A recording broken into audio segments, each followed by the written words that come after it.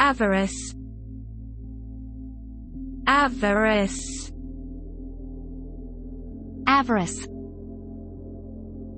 avarice